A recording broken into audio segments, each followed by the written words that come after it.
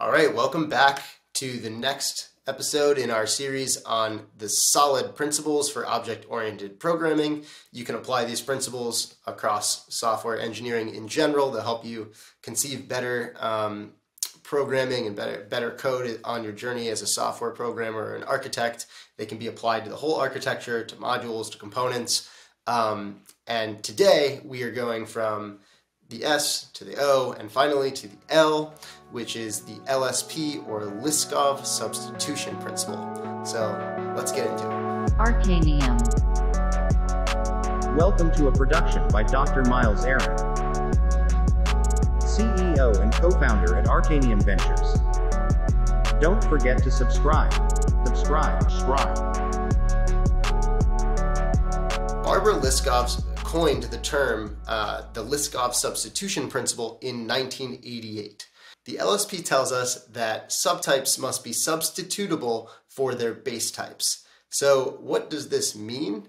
Um, it's kind of an extension of the open-closed principle that we talked about last time um, to this idea of subclasses or subtypes. So in the object-oriented world, we'll refer to classes, um, but this can be extended to uh, um, types in other paradigms as well. And when we refer to interfaces um, throughout this video, those interfaces um, could be uh, a class interface in the object-oriented paradigm, or it could even be the interface to a REST API. So you can abstract these ideas and apply them across your programming. When we say that subtypes must be substitutable for their base types, um, what we're really referring to is the conditions that you should place on the inputs and outputs of a subtype. And so your um, subclass is going to have inputs and outputs just like the base class. And what the LSP says is that you shouldn't make the um, input parameters, the rules governing those input parameters any more strict than on the base class, um, and that your um, output or return value um, parameters should be at least as strict. So you can make those strict, more strict, but they should be at least as strict as your base class.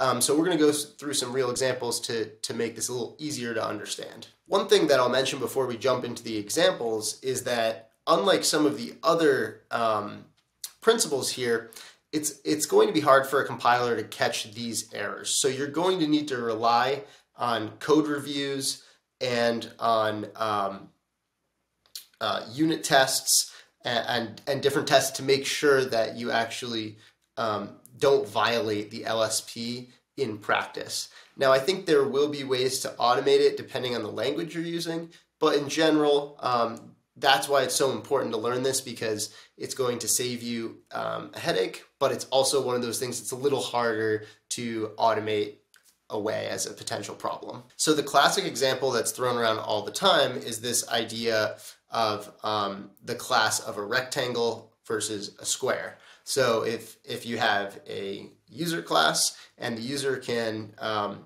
implement a rectangle or use this rectangle class um, and we say, okay, the rectangle, on the rectangle you can um, set a height and you can set a width. Well, a square is also a rectangle. So let's imagine that um, the square is a subtype of the rectangle. On the square, though, when you set the width, it's going to set both the width and the height to the same value. And if you set the height, it's going to set both the, the width and the height again to the same value. That's not always the case though for a rectangle. So um, if the square is a subtype of the rectangle and the user goes to use that rectangle but expects it to behave like a rectangle and now you substitute in a square, um, what's going to happen is that when they call set height and they call the set width um, methods that they, they expect the rectangle to have, it's not going to behave the way they expect. Because let's say they set width and height and they grab those two values and they calculate area. Um, well, whatever they set last is going to set both sides and it's going to end up uh, with a value that um, you know doesn't doesn't do what you expect it to do. It's going to fail your assertions, fail your tests, um, and, and, result in a broken application or an application that does not behave the way you expect it. So this is one of the concepts of LSP um, is that if you substitute a subtype for the base type, the application should, should still behave the same. And in this case, it wouldn't. So let's go over another example to help this kind of set in because to be honest, none of us are um, playing with squares and rectangles generally. We need to move towards something a little more real. Actually, let's do one more silly example just to help this set in. So I saw this example on Stack Overflow. I thought it was um, helpful, so I hope you do too. Um, so let's say you have a class called bird and um, you want to um, create a subclass that extends that class called duck. And bird has a method called fly. Now, um, when you know duck is a bird, and so you you use this subclass, and ducks can also fly. So great, it works. Now let's say um, you want to classify an ostrich as a bird as well. So you use your bird class, and um, you say, you know, ostrich extends bird. Great, but ostriches can't fly. So now you need some um, logic in your bird class that says, hey, uh, birds can fly, but if they're ostriches, actually they can't. And that is a violation of LSP because now um, your bird class has to be aware of which subtype it's using. And for LSP to work, it shouldn't care which subtype it's using. You should be able to substitute any subtype for that base type. So the ostrich violates the bird. So how could we fix that bird example? Well, what if we created a, um, a class in between our ostrich and duck and our bird, and we called it flying bird. And we could say that, um, you know, duck extends flying bird, and flying bird has the fly method. Um, and we could say that ostrich extends bird, which doesn't have the flying method. Now um, we can add all of our flying birds to this um, to extend this flying bird class, which extends the bird class, and um, we could use the um, bird class just uh, directly for our non-flying birds, and we're not violating LSP. Okay, so in both of these examples, um, what we did was very simple, a bit contrived, and it worked um, to show us kind of how to how to choose um, how to design classes for inheritance. And so what we did in, in these examples uh, was very simple and a little bit contrived. It showed us how to use inheritance when designing classes. Um, but of course, these things can be extended further, so let's take it one step closer to a real system. All right, so most of us at some point in our careers have implemented some sort of uh, payment integrations, right? Let's imagine that we're um, building a banking withdrawal system. Okay, so this is going to be a class that's used to withdraw funds from a given account. Now, the subclasses that we're going to use are going to be the accounts. And we're going to see if we can design a system that accounts for some different um, uh, scenarios that we might run into with bank accounts. So with the first one, um, we'll imagine a simple checking account. And that checking account um, is, is going to be, you're going to be able to withdraw money from it. So no problem. It can use this banking withdraw class that has a withdraw method, right? Now, let's imagine that um, we have another type of account and it's a savings account. Okay, fine. Checking and savings, we're a bank. This all makes sense so far, right? All right, so because we have those two accounts and they're connecting directly to our withdraw service, we say, hey, you know what? Let's put an account class in between so that um, the different types of account can um, can extend the account class, and that way um, we can use LSP and we can add lots of different accounts, and all the um, the uh, withdrawal service needs to know is that the um, that the account uh, will have certain inputs and outputs and that um, we will be able to withdraw from it. And this is basically the open closed principle, right? We wanted we want to close modification in our banking withdrawal system. So we put that interface of the account there to, um, to allow us to have different accounts without um, the banking withdrawal system being open for modification. That's just the OCP or the O in solid that we talked about last time. All right, so now we're going to throw in a little twist. Um, what happens if now our savings account is a um, fixed term uh, investment account, savings account, right? So the bank says, hey, you can put your money in here and we're going to give you a high interest rate, but you can't take it out for two months, something like that, or a year, like a typical CD or something. Um, maybe there's a way to withdraw it, but you can't just withdraw it with the normal banking withdrawal method. Maybe you have to go in person and sign something, and it's a different method, right?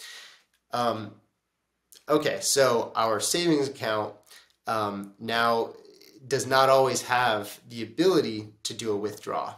And so we go up to it goes up to our account um, class, and that is expecting to work with any of those sub subtypes that should be able to be substituted in there. We go to withdraw, and the whole application fails. Okay, so so what happened there? Same thing as with the ducks and the birds, and with the squares and the rectangles. We violated LSP um, because we have now a subtype that doesn't fit. Um, we ha now have a subtype that can't be substituted for the base type. So um, in the design of this system, we need to go a little further to conserve the value we got from using the OCP by closing uh, changes on that banking withdrawal system. And in order to do that, um, we can't just simply have all of our accounts, account types attached to account and then to withdraw. We need to create a more complex architecture. And in this case, one way you could do that would be to kind of hoist a, that account interface up and have a withdrawable account um, subtype that could include your different types of checking accounts that can all do immediate withdrawals, maybe a standard savings account that can do an immediate withdrawal, and um, your bank withdraw class can use the um, withdrawable account, but then also from account, you can have non withdrawable accounts. And those could include things like your fixed term savings account, um, which will no longer be have direct access to banking withdrawal system. And so by designing the system in that way, you were able to use um, the Liskov substitution principle, or LSP, to get the benefits of um, protecting your withdrawal system from modification while being able to use inheritance in a clever way to simplify your code and keep things nicely changeable so that you can add new types of withdrawable accounts very easily and you can add non-withdrawable accounts very easily without having to worry about adding complex logic to your banking withdrawal class or breaking your whole system and preventing people from getting their money altogether. Um, so as you um, go deeper into software architecture, you're going to see interfaces in lots and lots of places, not just in classes. One common example you see all the time as a programmer is an API spec. It's going to tell you exactly what those inputs and return types will be um, for a selection of API endpoints. And if you want that API to be used by many clients, um, they need to follow that spec or you can run into similar problems where um, you have a system that's built on an API, it gets swapped out by a different, um, a different API connector, and um, that connector here is just like the subclass or the subtype that uh, Barbara told us about, and suddenly uh, the whole system that was substituted in breaks because it didn't um, adhere to the LSP as it works with this API interface.